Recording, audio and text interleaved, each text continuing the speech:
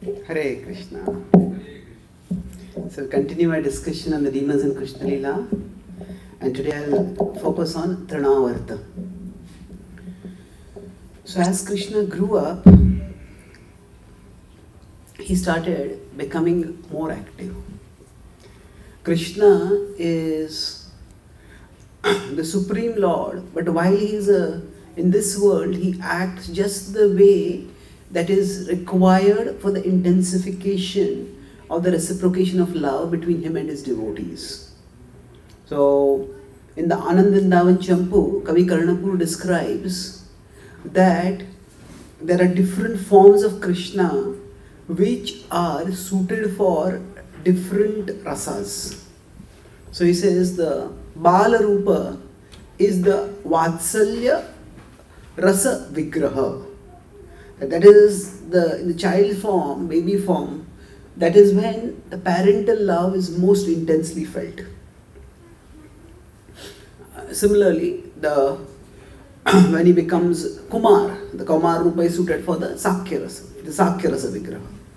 So in this case, the demons when they come, we will see that the most intense trauma, anxiety, horror is experienced by Yashodamai especially. So in this case, Yashodamai, she was just taking care of Krishna. Krishna was still a small baby. She, she picked him up on her lap, she fed him. And after he ate food with the mother's milk, he just went to sleep. And as he was sleeping, suddenly Mother Yashoda felt that he's become very heavy. So, what has happened? How did my child become so heavy? And she had a um, she had a like a crutch for keeping Krishna, but she did not keep him there. Somehow, at a subconscious level, she thought that Krishna is so heavy that that crutch will also not be able to hold him. So she put him on the ground. And actually, Krishna, he is Trikalagya. He knows past, present, and future. Vedaham samatitani vartamanani cha Arjuna. Bhavishyani cha bhutani mam tu vedana kaschana. Krishna says, I know past, present, and future, but me no one knows. So this means that Krishna knew that Trinavarta is going to come. And Krishna wanted that this even if this demon comes, the demon should cause the least damage. So he first of all made himself heavy by which Mother Yashoda would not be carrying him because when the demon comes, the demons are ruthless, they don't care for anything. Krishna will protect himself. But if the storm comes forcefully, the storm may knock down Yashodamai also. The storm may hmm, hurt her also. If the demon is out there to attack, the demon will actually be ruthless. Sometimes when wars happen, the, the technical, the euphemistic term that they use is collateral damage. That means we wanted to kill this person, we want to destroy this, uh, this building, but the bomb went and fell on that building. So incidental damage. That's not what they wanted to destroy, but that's the word they use for that. So sometimes when brutal invaders come, they just don't care who all they are destroying. They just want to get to their target, and anybody who comes in the way, they just indiscriminately attack and destroy them. So Krishna knew that Trinavarta was going to come for him. Krishna did not want any collateral damage in Vrindavan. So he made himself so heavy that Mother Yashoda put him down. And again, Mother Yashoda put him on the ground. Actually, at that time, she had come to the courtyard. Because children, they're all day at home. Even if they're small babies, they like to come out. They like to see the sky, the birds. Even if they don't understand all these things, but they just like to be out in nature. So at that time, Krishna had come out to the courtyard. And in that courtyard, Yashoda was, had fed him and she was sitting. So she put him on the ground. And as she put him on the ground, she just looked around for a few moments to make sure that everything in the house was good. And at that moment, within a matter of few months, suddenly a huge storm came there. Sometimes there are flash floods that come. At one moment, the whole weather is normal, there's no water anywhere, and another moment, suddenly a flash flood comes. And if people are caught in that, they just get swept away. So nowadays we have weather forecast, and by that often calamities can be that calam- the natural calamities may come, but the calamitous consequences of those cal- cal- calamities can be decreased if people are prepared and people retreat to safer zones. So now we can use technology, we can use meteorological science to try to make some forecast of how the weather is going to be. But Krishna, he is the ultimate forecaster. So they did not in Vrindavan need any kind of forecast because Krishna knew. So Krishna prepared. Krishna arranged that he was outside. And then the Trinavarta came, it came like a huge storm. It's like there are flash floods, we could say this was a flash storm. And zooming gust of wind just came knocking everything out of the way. And everybody became blinded. Normally, the atmosphere around us is, we could say, transparent. Right now, in between us, there is air, there is there are so many gases and other substances, but they are transparent. Even if there are some dust particles, they are so rarefied that they don't obstruct our vision. But sometimes, say, fog or mist may come, that may obstruct our vision. But sometimes, when a storm comes, the sheer speed of the storm is so great that three many things happen. One is that the, that storm raises the dust from the ground. And as the dust gets raised from the ground, then it's like a wall of mist that is created around us, a wall of mud that is created around us temporarily. Just can't see anything. Another is that when this kind of storm comes, it's so fierce that involuntarily also our eyes get closed. We have various senses, and some of the senses they are under our voluntary control. Some of them are not in our voluntary control. So if somebody hits us near the eyes or just brings their fist near our eyes, immediately our eyes get closed. That's just a natural defense mechanism. So when storms come, at that time our eyes get involuntarily closed also. And thirdly, in this case, uh, when Trinavarta came, he not only raised so much dust, but he created scary noise. When the wind comes, because the wind is moving so fast and knocking everything along its way, knocking down, it just creates a thunderous sound. So, at one moment the weather seemed to be normal, and at another moment you saw the storm coming straight on the sky. Just zoomed through Vrindavan. Now, as it was just racing through Vrindavan, Krishna, by making himself accessible, by keeping himself in the courtyard, what happened? Krishna allowed Trinavarta to do his work as quickly as possible. If Krishna had been inside the house, Trinavarta would have been in Vrindavan, and he would, by the more he would have been in Vrindavan, the more damage he would have caused in Vrindavan. But in this case, Krishna just allowed him, okay, what do you want to do? So you want to take me? Just take me. So Krishna, even as a baby, was thinking of protecting the Brajavasis. He was so concerned out of his love for them that these are my devotees and they should not be inconvenienced. Veer, Krishna is described as a supreme hero. And Braja Janartihan, whatever distresses the Brajavasis face, he is always competent to protect them from all distresses. So that child whom his parents were thinking that we need to protect them, that child was thinking, how can I protect them? And so Krishna was, in a sense, proactively planning. As Trinavarta came, Krishna was readily accessible out in the courtyard with no Mother Yashoda near him, on the ground, and the storm just came, picked him, and went off. And while the storm was there, everybody was blinded. Mother Yashoda was also blinded. And he was, what is this? Where does the storm come from? Certain areas in the world are known for storms. Say, in America, tornadoes, hurricanes, these kind of storms are common.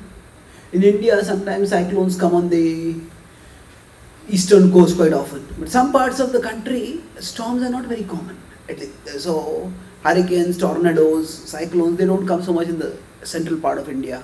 So in Vrindavan, storms were not so common. The Rajwasis also heard of storms, but storms are not so common. This kind of sudden, brutal storm, everybody in Vrindavan was shocked. And as a loving mother, as soon as Mother Yashoda was blinded temporarily, she looked, her, her vision recovered, the storm departed, started looking. And she saw Krishna is not there. And she became frantic with fear. Running, where did Krishna go? Was there at one moment and next moment is disappeared. The children are often very restless. And you just keep them free for one moment and then they just run here, run there. And parents have to always be watchful. Where is the child gone? So, just as parents have to watch their child, actually, Mother Yashoda was watching her child. But children, even if they are restless, they can run fast, but they all have a finite speed with which they can run. So Mother Yashoda looked around, where did Krishna go? She couldn't see him anywhere at all.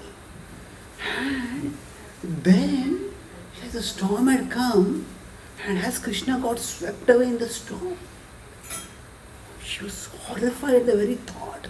He's been swept away. Where will he fall? What will happen to him? So looking and started panicking. And as she started becoming overwhelmed, suddenly the Brajvasis were all gathered there. But the other Yashoda just cried out in fear. Everybody became alarmed and they came. When they came there, they started looking around, where is Krishna? Where is Krishna? And suddenly one of the Brajvasis pointed. Krishna is there. And they looked up and then they saw that this demon was there. And if you see the picture of Trinavar, how it is, the lower part of his body is like the winds of the storm. The upper part of the body is the demon. You can see the demon over there. So the idea here is that there are subtle forces in nature. And wizards, most of the demons who came to attack Krishna were wizards. So these wizards can take up different forms. So normally when we think of forms, we think, okay, somebody can become, um, say, somebody can take an animal's form, like say Maricha took the form of a deer, or Ravana took the form of a sadhu. But the with mystical power, now that sort of form is basically like a fancy dress competition, isn't it? we might ourselves, we might be one person, we might dress ourselves in another way. Now, just dressing like someone is not what is being talked about when we talk about forms. When Maricha took the form of a deer, he was not just like a human being dressed up as a deer. He had actually taken the form of a deer. So, but there are further mystic powers by which one can take up forms not just of not just of other animals apart from humans, but one can take up forms of mystic forces of, of, of the forces of nature also. So just like if we have, we have Ganga Devi. Now what exactly do we mean by Ganga Devi? There is the goddess Ganga and the Ganga also manifests as the water. So when required, she will manifest as a person. But even when she is not manifest as a person, she is there as the water. So um, this kind of taking of the form that the way when we talk about the soul comes in a body, there are different ways in which the soul can get connected with the body. For us, we are souls who come in a human body and then we stay in that body and then we depart from the body. But when Prabhupada talked about Tulsi Devi, Prabhupada said actually Tulsi is one soul. Every Tulsi is actually a distinct Tulsi, but at the same time it is one Tulsi Devi who is manifesting through all Tulsis. So when so the embodiment of Tulsi Devi is different from the embodiment of all other plants. She is one divine goddess who manifests in different forms. So, so, for the for the rivers, it is not that Ganga is the body of the soul called Ganga. No, the soul soul who is Ganga Devi, she has a celestial feminine form. But that form also manifests as the water body Ganga. So this kind of embodiment is different from, say, if we have Soma, who is the moon god. Now, the moon is not the body of this god. He is the, the moon god is the presiding deity of the moon. So, there are different ways in which the soul can connect with a material body or with a material phenomena. So, by some mystic powers, Trunavart took the form of a storm. And he took the form of the storm, he was by nature a demon. Normally, when people assume any particular form, that they need some amount of mystical power to assume that form. And that mystical power requires some conscious intention. Okay, I want to acquire this form. And when that purpose is served, then they give up that form and they return to their normal form. This can happen in multiple situations. One is they wanted to do something, for that they acquired that form, they did the work in that form, and then they themselves voluntarily gave up that form. The other is that if, so this is the case of right now of Trunavart, who had temporarily taken up the form of a, of a storm, and he had gone high up into the from high up into the sky. From there he came rushing down picked up Krishna and went high up again into the sky. And now that he had got Krishna, he had no reason to continue the form of a storm. So, because his purpose was fulfilled, he gave up the form of a storm. But the other situation is when a demon comes up in a particular form, like it happened in Putana's case. She came in the very attractive feminine form. But when Krishna started sucking out her life air by uh, sucking on her breast. At that time, suddenly her natural form appeared. Huge, hideous demoness. So, what happened? In that case, for maintaining any form, a certain amount of mystic power is required. But when the life is threatened, the demon, in order to survive, tries to focus all the mystic, all the available power in just protecting oneself. And then whatever power they have exercised for manifesting that form, that power is no longer available. So, in that way, the they revert back to their normal form. So here, Trunavart, for him his purpose was fulfilled and he went high up into the sky. Now his plan was, he was thinking this, Krishna is a dangerous character. He looks like a small child, but Krishna has killed Putana, Krishna has killed Shakatasur. I don't want to take any chances. He says, I'll go so high up in the sky, just throw Krishna down from there. And throw, the greater the height, you go up from there, if you fall, the lesser is the chance of survival. So that was his plan. But we have our plans and Krishna has his plan. So Krishna went along with the plan of Trunavart. And Trunavart was thinking, yes, my plan is successful, I'm succeeding, I'm going high up, high up, high up. And as Krishna went up, Krishna was going up, so Trunavart was first holding Krishna by his shoulder. Like this, holding him. But as he went high up, Krishna just acted like a small child who's become fearful of the heights. Actually, Krishna on his side was simply enjoying a free ride. high up in the sky, enjoying a happy ride through the sky. And high up, high up, he was going the wind, the sky, the cloud, it was so enjoyable. Krishna was enjoying. And now it was going up and up and up. And then at the same time, Krishna was aware that actually Mother Yashoda was becoming panicky. She actually swooned because of her panic. And Krishna said, Now enough. And then, as Trunavart was taking Krishna up, Krishna acted as if he was a fearful child. And when children are fearful, you know what happens if, if the mother may be holding them and they may be just looking here and there, but if they become fearful, then they turn and hold their mother tightly. So, like that, Krishna turned and held Trunavart with both his hands around his neck. And Trunavart thought, oh, this child has become scared now. So, as Krishna held him up, what happened was, now I decided, now I have gone enough height, I will throw him down.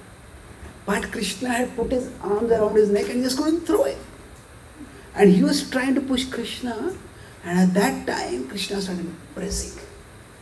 Now, Sanatan Goswami has written a commentary in the 10th canto called the Vaishnava Toshani. And there he describes that when Putana came Uh, and she tried to kill Krishna, at that time she screamed, screeched loudly, Muncha, Muncha, let me go, let me go. She's screeching. And that screeching alarmed the Vrajavasis. So Krishna decided, I don't want the Vrajavasis to be alarmed. So what Krishna did was, he put his arms around the neck and held the neck so tightly that Trunavart couldn't make any sound. He was, he, he was completely choked. Now Krishna's hands are very small. But within those small hands, he has such power. Uh, so first Krishna used his power to choke Trunavart. Trunavart was trying to gargle, no sound was trying to push Krishna away. And then Krishna started increasing his weight.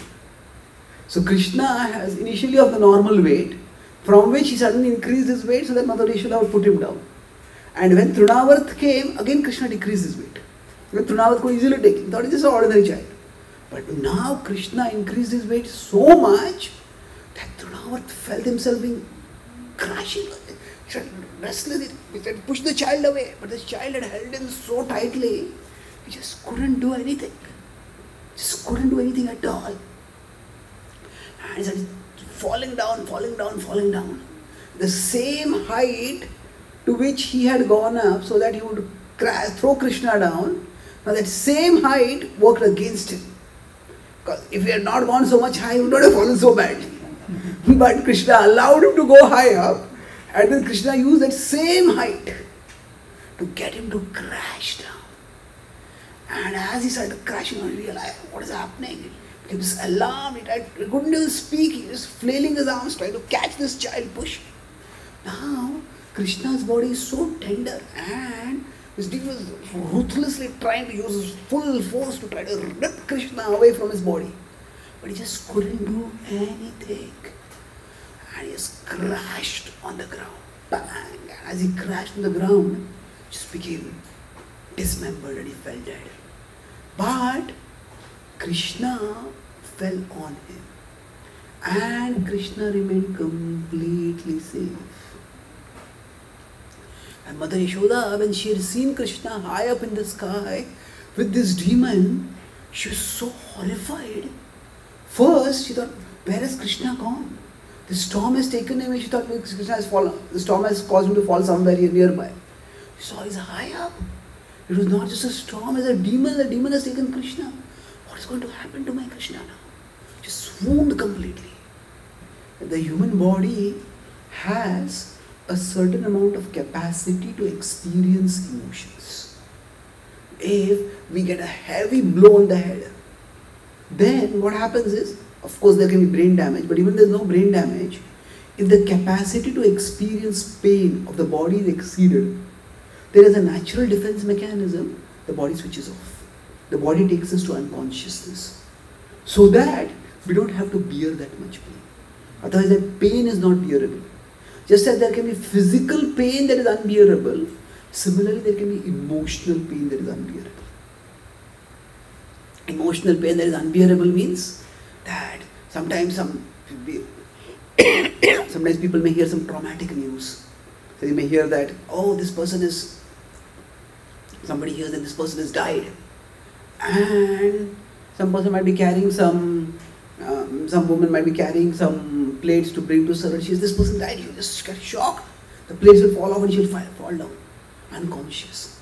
So, there, the pain is so great that the body can't bear it. And one switches off at that time. So, similarly, over here, Yashoda Mai just fell unconscious. And now the Vrajvasis were torn. On one side there's Krishna, and one side Yashoda Mai is unconscious. So they're sprinkling water on her, trying to bring her to consciousness. And she was so she was so fearful that she just didn't come to consciousness. And then the Brajvasis finally told her, Yashoda, Yashoda, Krishna is back, Krishna is safe. And Krishna is safe. And as she heard this, she opened her really true. Where is my Krishna? Where is my Krishna? She says, He was up in the sky. How is he safe? No, no, Krishna is safe. Narayan has protected him. Narayan has protected him.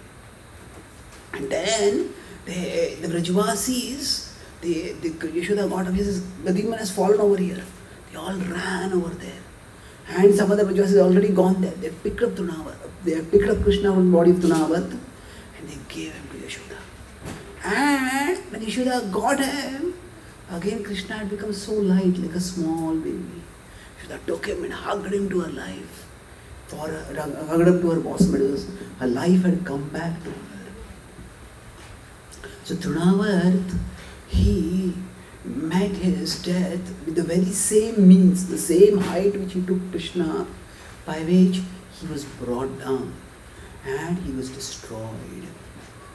Shri Krishna Bhagavan ki. So Bhaktivinoda Thakur explains that Trunavart refers to useless argumentations. What he represents is the misuse of the intellectual faculty for arguing back and forth and on and on and on. Actually, in general, if we consider Vrindavan to be like our heart, Chaitanya Mahaprabhu would say that Moraman Vrindavan, my heart is like Vrindavan. So the mind is usually equated with the heart because the mind is where emotions are situated and the heart is also the seat of emotions. So, so now, if we consider Vrindavan to be like the heart, Krishna was present in Vrindavan. But Trunavarat came as a storm and took Krishna away. So similarly for us, arguments, false or misleading or pointless arguments can come as a storm and they can sweep Krishna out of our heart. They can, they can just, they can create doubts, they can create confusion, they can create delusions and it's, just lose Krishna. तर्को अप्रतिष्ठा श्रुतयो विभिन्ना नासा वृषिर यस्य मतं न भिन्नम so tarko apratishta if one uses logic and argument it is apratishta it ultimately has no foundation shutayo vibhinna that there are different books which say different things and nasa vrusir yasya matam na bhinnam Prabhupada translate this as that there are all there are different rishis who have different opinions. But the literal Sanskrit is even more interesting. What it says is Na asav rishir yasyamitam na bhinnam.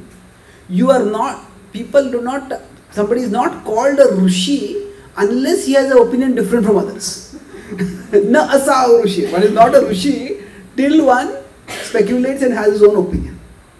So people who are intellectual often they have their own ideas and with their own ideas, they can never come to any conclusion. And therefore, it is said, Mahajano yenagata sabantha. We have to follow dharmasya tattvam nihitam guhayam. That the essence of dharma, the truth of dharma is hidden.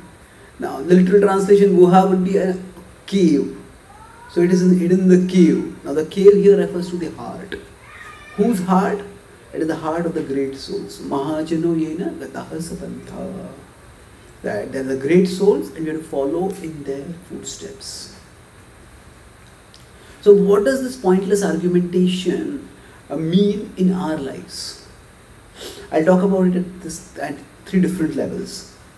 First is in terms of our faith in Krishna Bhakti, in terms of the other people whom we are connecting with Krishna, their faith, and how that can be distorted by arguments. And thirdly, I'll talk about how within the practice of Krishna Bhakti, there can be arguments. That this is the way to do things, this is the way to do things. And that way, there can be problems. Broadly speaking, there are two main distractions on the spiritual path. One is desire and the other is doubt. Krishna many times in the Bhagavad Gita tells us, Mai arpit mano buddhir, mam evaishyasya samshaya.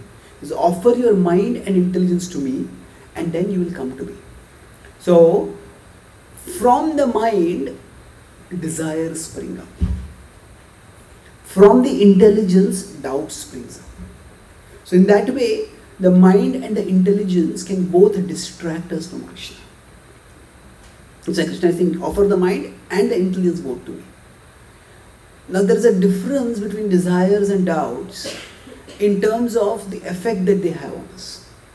Generally, if some desires start dragging us here and there, they make us feel weak. They make a they can they desires if they make us indulge in wrong things, they humiliate us. They at least they humble us. And we, we, we actually feel the need for Krishna. I have to call out to Krishna.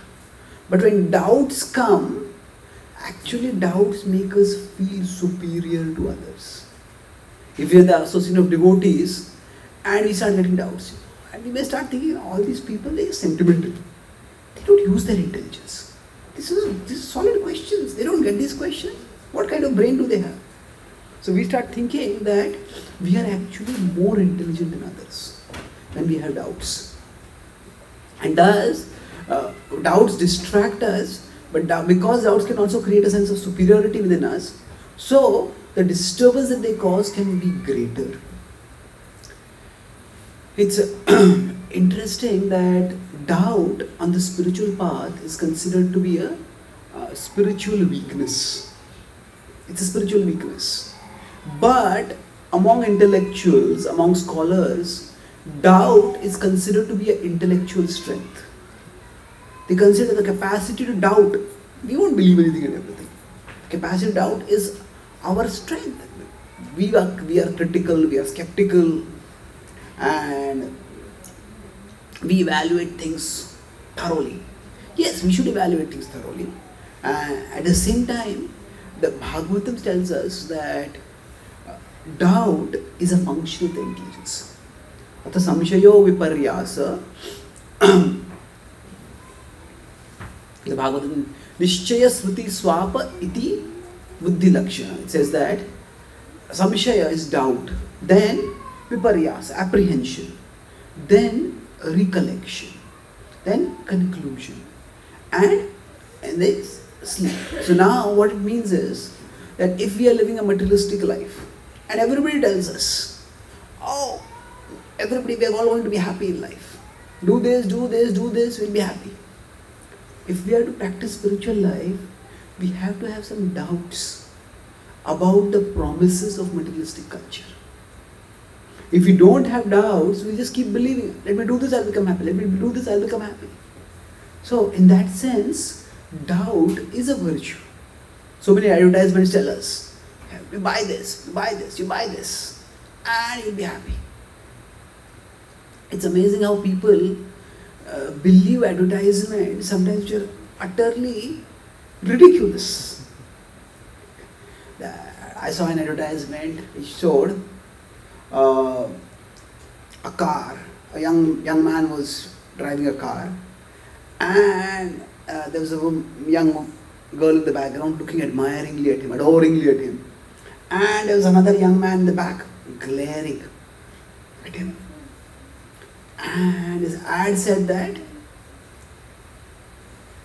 buy this car and enjoy the envy in your neighbor's eyes. Now, enjoy the envy. Now, what a standard of enjoyment. Tomorrow they will get a better car and then they will say that I will enjoy the envy in your eyes. So below that they said that the uh, says, you are your car. You are your car. It is actually to identify with the body is bad enough. The body is a vehicle for the soul. The car is a vehicle for the body. so to identify with the vehicle for the vehicle, it is like you could say we have illusion and illusion squared. illusion squared. And now I was playing with words, so I said that you are your car. So you could translate it in Sanskrit as ahamkar. and they are the Sanskrit word ahankar. so ahankar is ahankar. So this is Vitya ahankar. this is the false ego by which we identify with things. Now, obviously, you are not your car. Yes, you could say your car makes a statement about your financial, your financial status or whatever. But but people just get so carried away by advertisements. So doubt in that sense is good. Hmm. However, after we have some doubts, then this so doubt leads to apprehension. Because maybe my current understanding is not right. So if I, we are living materialistically and we get doubts, how are all these things going to make me happy? We have some doubts about it. That doubt leads to apprehension. Apprehension means uh, we start evaluating, uh, hesitation and analysis. Maybe this is right, maybe this is not right. And then we come to a conclusion. Okay, this is not right. And then after that, whatever conclusion that gets reinforced within us as our recollection, as our memory. And the next time when we see it, you won't believe in it. You won't get caught by it. So doubt, the Bhagavatam says, is a function of the intelligence. However, doubt is not the only function of the intelligence. The nature of tamoguna is that we take one thing and make it into everything. So, in 18.22 Krishna says in the Bhagavad Gita that यत्तु पृत्स्नवदे एकस्मिन् कार्ये सप्तमहेतुकम् अतत्वार्थदल्पं च तत् तामसमुदाहृतम् One takes one thing, Kritsnavad Ekasmin. When you take one thing to be everything, then that's the problem. So, yes, to doubt requires intelligence. But to keep doubting is not intelligent. If, I, if you're going to go to a doctor, at that time, a, a we, want to, we want to evaluate. You know, is the doctor good? Is what the doctor saying makes sense? We needn't believe anything and everything the doctor does. If I, if I got stomach upset and the doctor says I have to amputate your leg, what? That doesn't make any sense to me. So it's good to have some doubts. But eventually, we have to put faith. If we want to be treated, if we keep doubting every single doctor that we go to, then we will ourselves sick. So after some time, we have to take a take some faith, take a leap of faith, or you could say take a gulp of faith. You know, take a pill or take a tonic or take a medicine, whatever. So from doubt is required, but eventually we have to act. So, so the problem with false argument is that one just keeps doubting permanently. This is not right, this is not right, this is not right, this is not right. So some people are skeptics. They just they pride themselves. I am a skeptic. An international skeptics organization. And they feel very proud. We are skeptics. We don't believe anything easily. Yes, it is it is good to have, as I said, some, some capacity doubt. But the problem is there's a problem with skepticism. That problem is that skeptics are skeptical about everything except skepticism. they are not skeptical about skepticism. What do I mean skeptical about skepticism? See, skepticism can tell me, I don't believe in this, I don't believe in this, I don't believe in this. Skepticism can only tell us what is wrong.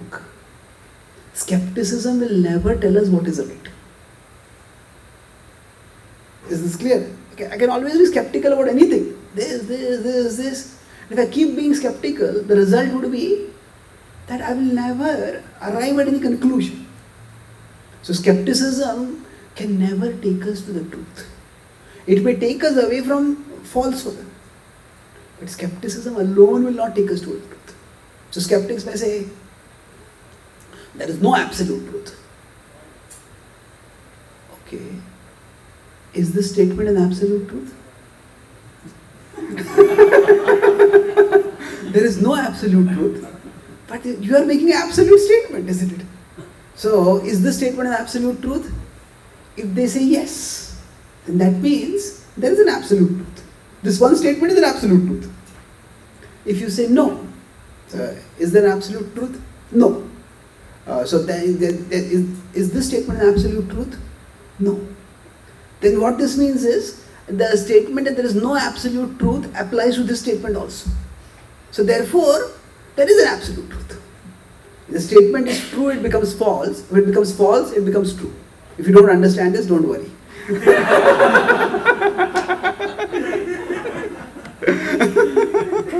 but the point is, there is no absolute truth, is actually a self contradictory statement. Because you are already making a statement, and that statement has to have truth value. It's like saying, somebody says, I don't know a single word of English.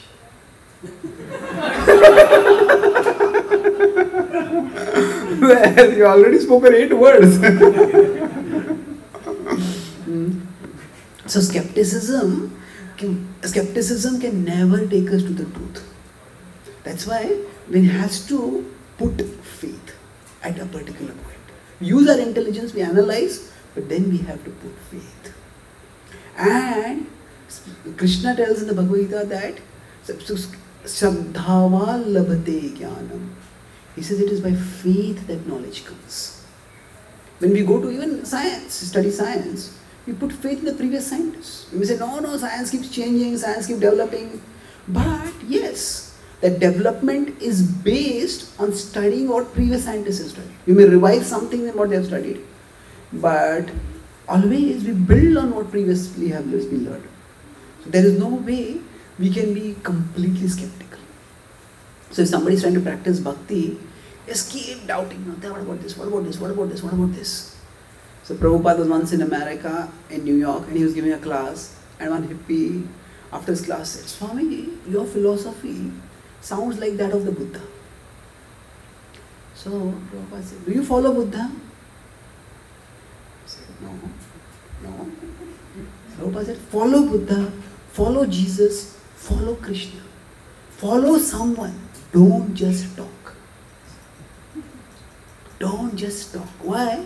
I can argue this philosophy, this philosophy, this philosophy. We will just go on arguing endlessly.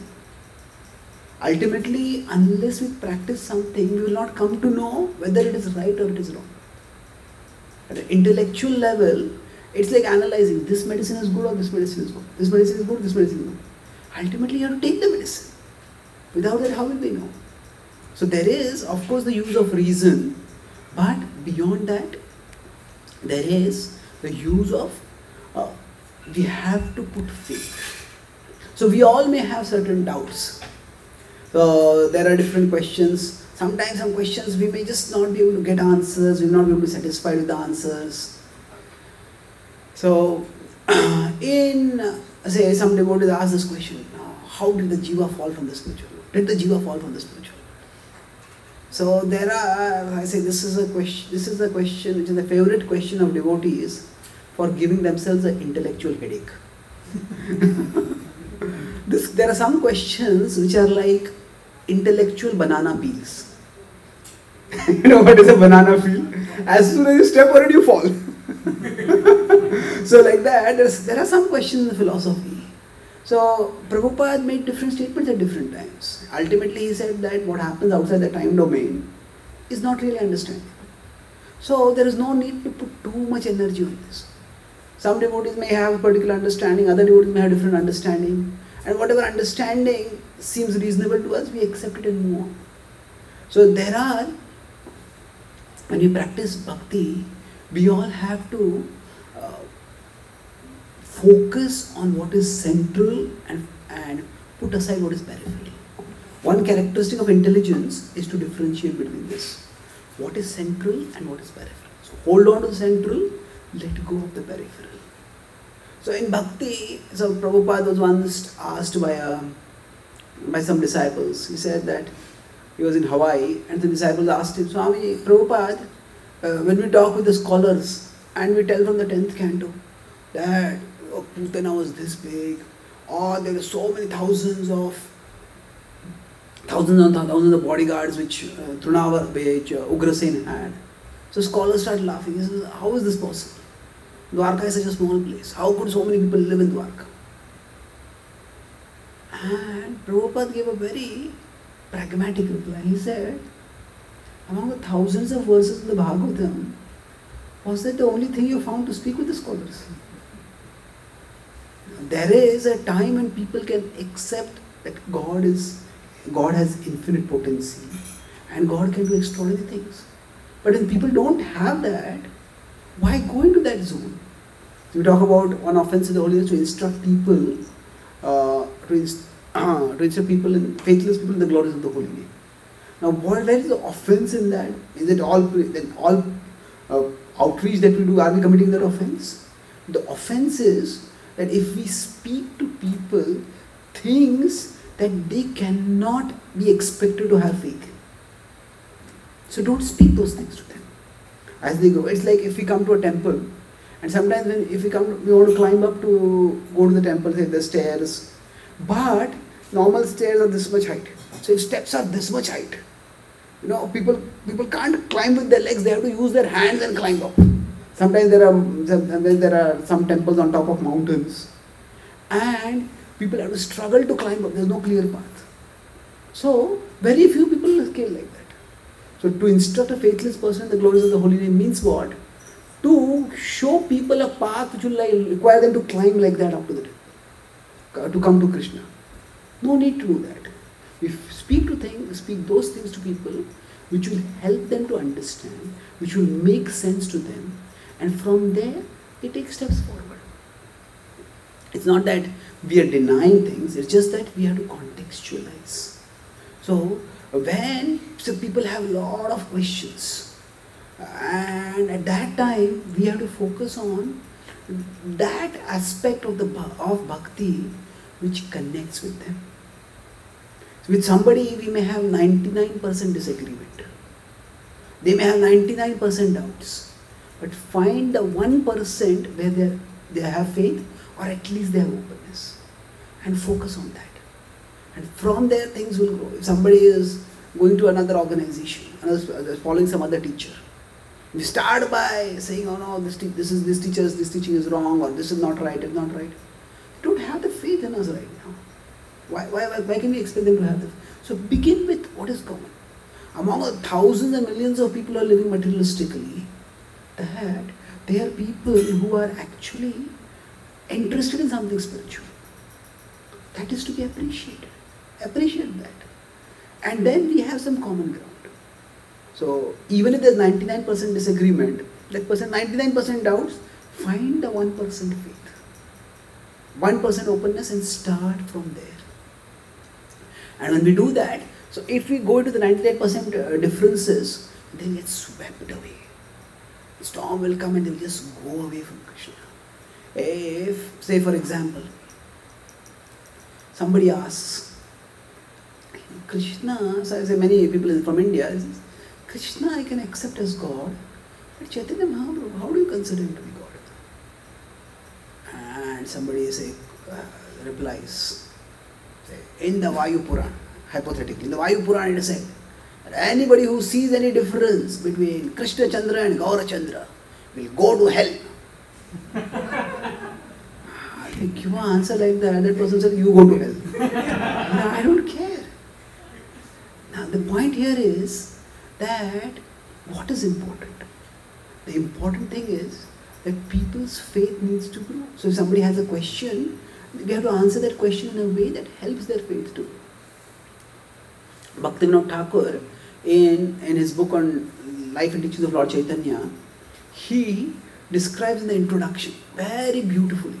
He says that he describes a brief summary of Lord Chaitanya's life along with some some of the extraordinary things like Chaitanya Mahaprabhu made animals dance, some of the miracles that he performed. And then he concludes by saying that for the Bengali Vaishnavas, the, the Bengali Vaishnavas have concluded that Chaitanya Mahaprabhu is God.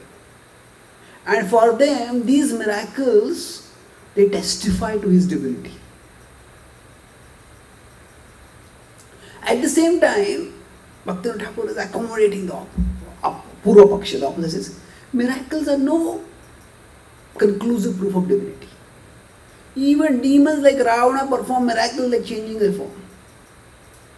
So, the essential miracle of Chaitanya Mahaprabhu is, I'm paraphrasing here, essential miracle is that if you follow the process of devotion he has given, you can experience the flood of love in the heart that has no parallel. That is extraordinary. So, irrespective of whether our esteemed readers accept his divinity or not, we do urge them to accept the process of devotion that is offering.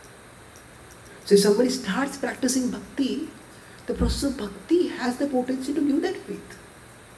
So we can't demand faith right in the beginning. So if we find that some people have a lot of questions, then okay, we can address their questions as much as possible. But don't get caught in questions. Especially if questions are coming in a argumentative, argumentative and combative mood, then just be polite, answer the questions as much as possible. And if it's just going on and on, then let them, just give them some prasad, give them something that will give them an appreciation of Krishna Bhakti. And move on. When the right time comes, they will remember. People may not remember what we spoke, but people will remember how we made them feel. A, people will not remember exact arguments that they had with us. But if we are warm, we are courteous, if we are gentle, I had a big argument with this person, but he remained calm. He was nice to me. And that will attract them. This doesn't mean that we don't use logic. Certainly we use logic. There is a time and place for it. If people, people are approaching logically, objectively, then we logical, objective answer that helps. But when the arguments are simply going to and fro, at that time, it's best to focus on the heart. Not in the sentimental sense, but in the sense of creating a connection. So arguments can just go on and on and on. Even in the Indian tradition, there is this, there is the argument between the personalists and the impersonalists. So the the Vaishnavas says the, the impersonalist says so hum. I am that absolute truth. The Vaishnavas come and say, no, they add a the over there. Da soham. hmm? I am not an absolute truth. I am the servant of that absolute. And the impersonalists come and say, Sada soham. I am always that absolute. Uh-huh. And the Vaishnavas come and say, Das dasoham. and the impersonalist come and say, Sada sada soham. and the Vaishnavas say, Dasa, Dasa, Dasoham. so it just goes on. So the arguments can just go on forever. We have to focus on practicing bhakti and encouraging others to practice bhakti. And the last part I'll conclude is that while we are practicing bhakti ourselves, sometimes arguments can come up between devotees themselves. This is the right way of doing things. This is the right way of doing things and this can lead to so much conflicts. One devotee had made a presentation and he showed me that you know, there is this there is this picture of uh, some Norman or Greek warriors fighting with uh, with like a sharp weapon, a sword in their hand, and two swords are clashing against each other. And on the both the swords are written, Prabhupada said. Prabhupada said. so, sometimes devotees may argue, Prabhupada said this, Prabhupada said that. And based on that, we may start arguing. So, we have to see that what was the purpose of Prabhupada? The purpose of Prabhupada was to help people come closer to Krishna. And we can look at Prabhupada's specific statements, but just specific statements are not as important as his overall intent. Overall intent was to help people to become conscious of Krishna. And when the world changes, the times change, so we have to present Krishna in different ways to different people. So at that time, some people say, this is how Prabhupada did it. Okay, yes, this is how Prabhupada did. it. But that's wonderful, we respect it. But if that if that way we are not able to connect with people, then what do we do? Actually, Prabhupada did not do one thing. If you look at Prabhupada's preaching in America and Prabhupada's preaching in India, it's quite different. In America, it meant moving into the temples. Preaching meant that who became a devotee, leave the world, move into the temples. But Prabhupada in India, not many people were ready to move into the temple. Hardly anyone practically speaking. So then Prabhupada's main preaching was make people life members. Engage them where they were and help them to grow that way. So you could say that the, the full-time devotees in the temple were at this level and the life members were at a very loose level of commitment. But Prabhupada accepted them, appreciated them, encouraged them.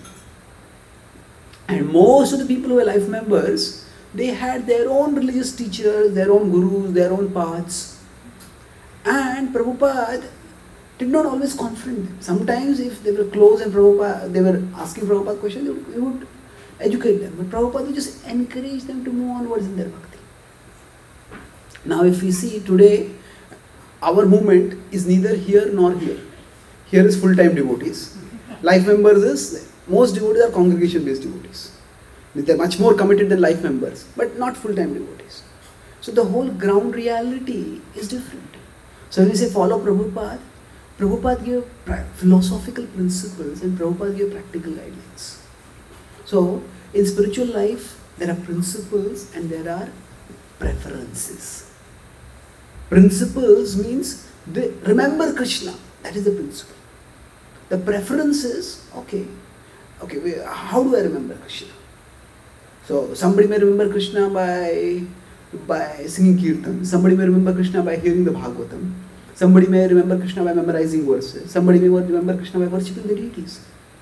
That is that flexibility is there. Prabhupada himself. Now Prabhupada at one level he said that uh, I haven't changed anything. I'm like a postman. I have given the Krishna. I have given what my spiritual master has given.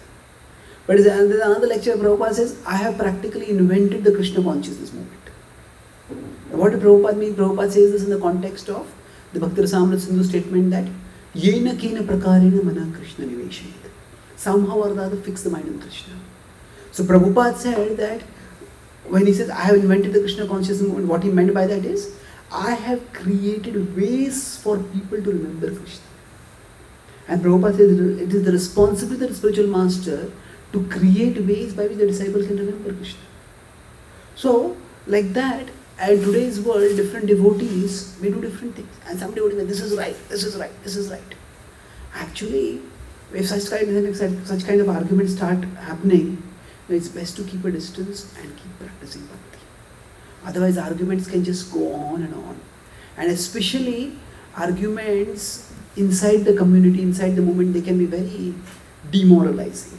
We are trying to reach out to the world and get people to Krishna as long as the principle of getting people to Krishna is maintained, the preference of how that is to be done, that will vary.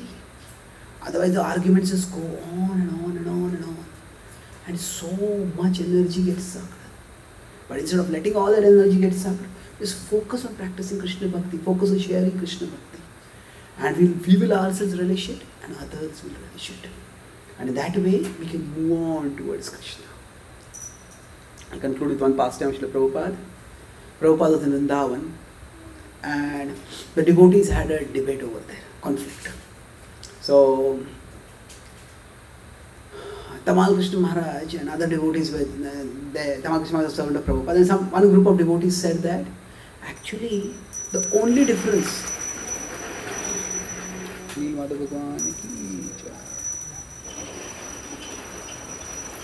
the only difference between Krishna and Balaram is in complexion. So, but another said, no, actually only Krishna is the Lord of Radharani. Balram is not. He says, no, the only difference between them is this.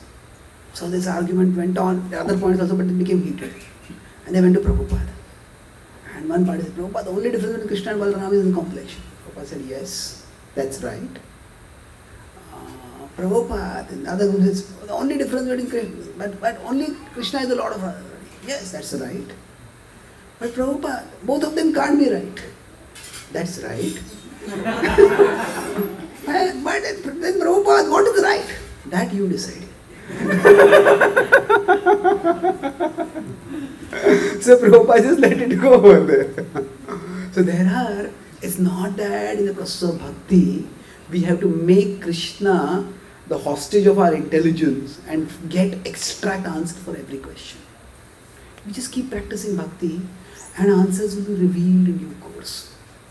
This Trinavarta, he swept Krishna. If you just get too much into intellectual analysis, this, this, this, this, this, it's like we may think I am being such an intellectual. I can quote this verse, I can quote from this, this point, I can quote this, I can quote this. And all that we are doing is we are simply increasing the height from which we will fall. we quote all the Shastra and we become very proud and very argumentative, and all that is happening by that is where is our heart is getting dry. See, arguments sap the rasa from the heart. So it's best, you know, the world is a big place. And if we feel that something is not right, then we can start something and we can ourselves set set an example of how to do it right. Why criticize someone else? There are so many people in the world who don't have Krishna Bhakti. If somebody is trying to give Krishna to others, if we feel no, this is not the way to do things, then nobody is stopping us from doing something ourselves. So if we can avoid this pitfall of argumentation, we'll have so much energy available for reaching out to others and reaching out to Krishna in our own hearts. And we will enrich our heart with devotion and enrich the hearts of many, many others. So I'll summarize. I spoke about the theme of Trinavarta and how endless argumentations happen. In that I spoke about, I started with the passing of Trinavarta, how Krishna, although a small baby who, who needed protection, but Krishna was arranging for the protection of the Brajavasis. He first increased his weight, Mother Yashoda put him on the ground in the courtyard, so that when Trinavarta came, minimum damage. And then Krishna allowed Trinavarta to take him high so that he could have a free ride and then he choked him so that he couldn't even scream, so that he wouldn't alarm the Brajavasis. And the same height which he was planning to use to get Krishna to uh, fall, to, to throw down Krishna, that same height Krishna used to end Trinavarta. So, the, the whole uh, Bal pastimes, they also demonstrate the Vatsalya of Yashodamai. She was intensely in anxiety Practically, her life went away when Krishna went away. When Krishna came back, her life came back. Well, Trinavarta represents pointless argumentation. Talked about how doubt is a doubt is a intellectual virtue or intellectual strength up to a particular point. It, it becomes a spiritual weakness if that doubt prevents us from committing to anything. So skepticism is is good, we need to doubt the promises of materialistic culture for providing us pleasure. But we have to be skeptical about skepticism also. That means skepticism can only tell us what is wrong, never what is right. And other skepticism ends up in self-contradictory statements. And to deal with doubt, uh, to avoid endless argumentation, I talk about three things. First is for our self-application. If we have some doubts, if the overall philosophy of Krishna consciousness makes sense, if the central points make sense, then put the peripheral points aside. Like say the fall of the jiva or the huge num dimensions in certain aspects of the Bhagavatam. They are not the central thing. Central thing is connecting with Krishna and experiencing Krishna Bhakti. If somebody can't accept Chaitanya Mahaprabhu's divinity, just practice Bhakti right now. Don't, don't argue about that. If somebody is, uh, then we talk about the outreach, that if somebody is arguing too much, then that will simply lead to alienation. So people may people will forget uh, what we spoke, but they will remember how we made them feel. So even if there's 99% doubt and disagreement, focus on the 1% commonality and begin with that. And if we can't make any further headway, end with that. End with cordiality, end with end with being nice to people. And eventually in their life, that memory will inspire them to explore further in the direction of Krishna.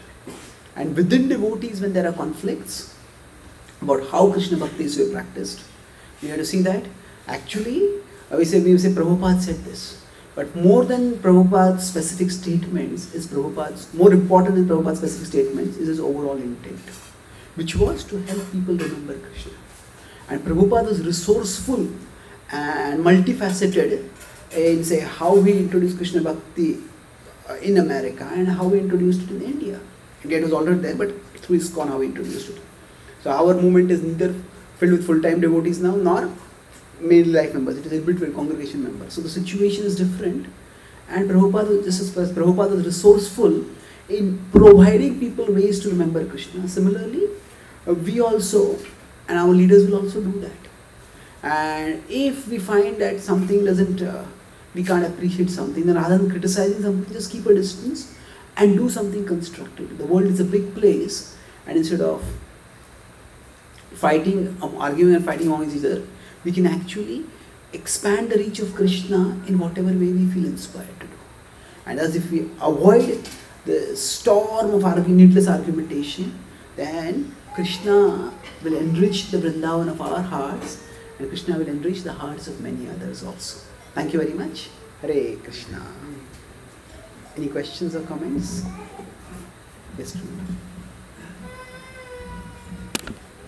Thank you, Raj, for a wonderful lecture.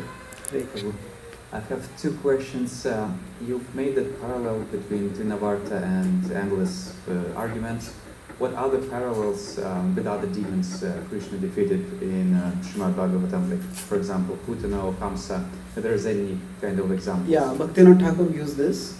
He talks about Putana representing a false guru, a misleading guru.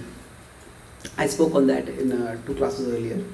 Then there's Shakatasur, he represents lethargy. So Bhaktivinoda Thakur has talked about this in Chaitanya Shikshamrita and Krishna Samhita both. He gives several demons and he says what they represent. So the sons of uh, Devaki who were killed earlier uh, before Krishna was born, they represent the six anarthas. Balram represents the Guru, and when the six anarthas are removed, and then the Guru comes and cleanses our heart, then Krishna manifests over there. Okay? Very much. You said your second question? Uh, the- yeah, I, I was wondering, you also said the commentaries to Srimad Bhagavatam were made by um, Sanatan Goswami and Bhaktivinoda Thakur. Are they available in English? Uh, Yeah, people? Bhanu Maharaj has translated them. Bhanu Swami has Oh, translated sorry. them. Thank you. Any other questions or comments? Yes. Hare Krishna Prabhu. Thank you for the wonderful class. So in the class you mentioned about Yashoda Mai uh, not being able to tolerate the pain of Krishna being away and also the human body can faint when cannot. So the question is, uh, Krishna, even in Vrindavan 5000 years back, was in his spiritual body. Hmm. So now one level next, his immediate relatives and gopis and gopas and cows, we are told all of them had come from Vrindavan to participate in his lila. So how to understand whether they were in uh, their original spiritual bodies or they were Yeah. souls which were in the material bodies? How to understand that? Even Krishna's sons uh, are referred in Krishna book, right? Yes, yes. So at what point in time the sons of Krishna and their sons, at what point in time it became material? Okay. Sorry, today's a question of doubts. So. okay. So, he said Krishna came in a spiritual body. But what about Krishna's associates? If they also came in a spiritual body, then there are so many generations who came after Krishna. So, at what generation the body changed from spiritual to material? Yeah. I would say that even if the body is spiritual, for, for practical purposes, their body functions uh, within the lila for in a way that is whatever is required for the lila. So, okay, Yashodamai's body is spiritual, but then from her breast she produces milk. So now, is that milk also spiritual? Okay, if the milk is spiritual, then the food that she ate, is it also spiritual? Okay, the food that she ate is spiritual, and the grains from which the food was made, are the grains also spiritual? Then the grains were produced from the earth. and The soil is also spiritual. Well, where do you stop it over there? If you go like that. So, actually, Ramanujacharya elaborately analyzes this that what exactly is spiritual and what exactly is material when the Lord descends. So this first first principle is it's, it's extremely difficult to understand, but the essential point is that whatever is required for the purpose of the lila, that is done. And even Krishna's body can manifest blood. When Bhishma shoots arrows, Krishna's body seems to manifest blood, but is it material? Oh, it is. No, it's not. For the purpose of lila, that is what is required, that will be manifested. And the there are some aspects where there is a differentiation. Say, for example, some gopis, when they come to Krishna, uh, when Krishna plays the flute and calls the gopis, so some are unable to come.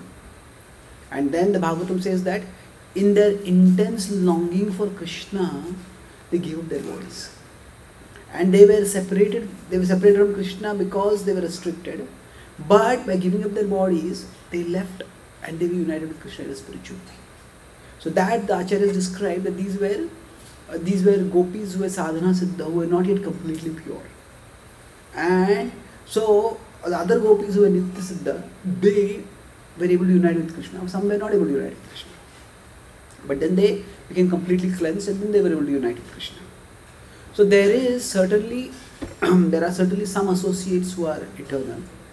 But we can't really say that everyone over there was eternal. Mother Yashoda's body fainting. Well, the point over there is that Ananda Vrindavan Champu talks about this, not with respect to Mother Yashoda, with respect to Radharani. That when Krishna leaves Radharani in the forest and doing and goes away, Radharani faints. And he says over there that he talks about there is uh, a Murcha Devi. Murcha Devi is, con- is unconsciousness. He says that the pain of separation from Krishna was so great for Radharani that she couldn't have survived. So, in order to save her, Murcha Devi came and she made her unconscious. So, it's told in a more poetic way, this principle what I spoke. So, the same principle apply to Yashoda also. Uh, so, now there are certain associates who are definitely his eternal associates, but many in Krishna may not be. Is it that when Krishna goes from Dwarka to Dwarka to Hastinapur, are all Dwarka Vasis, are all Hastinapur Vasis, are all the people in between eternal associates? Not necessarily. They're certainly special and fortunate to be there. Where Chaitanya Mahaprabhu is Patit Pavan, we. Now, if everybody around Chaitanya Mahaprabhu was is his associate, is his eternal associate, then they're already Pavan. Then how is he being Patit Pavan? Isn't it? You know, everybody is pure, then his mission itself will be defeated. If we say that, oh, Chaitanya Mahaprabhu went to South India, all the people he saw, they were already the associates. And then he didn't purify them anymore. What is his potency? So, I would say that there are some people who are his eternal associates, but not everyone. And even his eternal associates, they don't necessarily, even their bodies don't necessarily act as if they are spiritual bodies. That means the body acts in a way that is that is required for the reciprocation of the Leela. So whatever it is. So Mother body can produce milk. Krishna, when he commits mischief, sometimes he passes urine. So that, that that's, is that a material body? No. Krishna is doing that for the purpose of Leela. So basically, the spiritual body is rather than going into the technicality, I'll conclude the answer the purpose. What do we mean by spiritual? What do we mean by material? That which is used for serving Krishna is spiritual. That which is used for personal enjoyment, that is material. So, if for serving Krishna, uh, the body is physical mechanism plays a role. Say Krishna gets a headache, then the gopis give their dust. How can Krishna get a headache? Krishna, the spiritual world is free from old age, disease, and death. Krishna is the one who frees us from that. How will Krishna get headache? That's a leela. So, if some if some physical mechanism of the material body is required for enhancing Krishna's pastimes, that will be manifest according to the arrangement of Yoga Maya. So, so we differentiate the spiritual material at a functional level. There's a philosophical differentiation that matter is achit, uh, matter is unconscious, it is temporary, all that. Uh, spirit is Achitananda. That is fine. Philosophically, we have to have that differentiation, no doubt. This is the body, this is the soul. But functionally, we have to focus on the purpose. If we start getting too much into the analysis, suppose there is a joke in the class, and before laughing, am I laughing for Krishna's pleasure or am I laughing for my pleasure? if we start doing like that, you know, okay, it's, it's related to Krishna's philosophy, just laugh, don't worry so much. So if we go too much into this, my one point about argumentation, endless argumentation, they say this, ana- paralysis by analysis. Paralysis by analysis, they give the example, there was a graceful uh, centipede, a thousand legged uh, insect or whatever creature, dance very gracefully. And then there was a bird who couldn't dance at all. And the bird was very envious of the centipede. So he says to the centipede, Oh, you dance so nicely. No, I want to understand how you dance. So he says, After you put your 66th foot down, when do you put the 67th foot or do you put the 68th foot? Oh, really? I put my 66, 67? And he kept asking questions like this, and the centipede, should I put this foot down? Should I put this foot? Should I put this? He just got so caught in thought, he couldn't dance anymore after that. so, like that, in bhakti, if we just philosophically we analyze the difference between the, between the body and the soul, understand the spiritual material, but functionally, if we get too much in the analysis, is this material, is this spiritual, we'll get in trouble. We just focus on is this serving Krishna? Now, that whatever the Vrajavasis are doing, they are completely devoted to serving Krishna. So even in our day-to-day life, if we're taking care of family family responsibility, we are doing our job. At a functional level, if you think, oh, this is material, then we will half-hearted about doing it. This is spiritual, let me do it wholeheartedly. No. If you're doing it in the mood of service, it's spiritual. Functionally, we don't have to differentiate too much. We try to cultivate the intention of serving Krishna for his pleasure and just do what is to be done. Okay? So, thank you very much. Shri Prabhupada ki, Gaura Bhaktavrinda ki, Gaura Premanande. His Grace Chaitanya Prabhu ki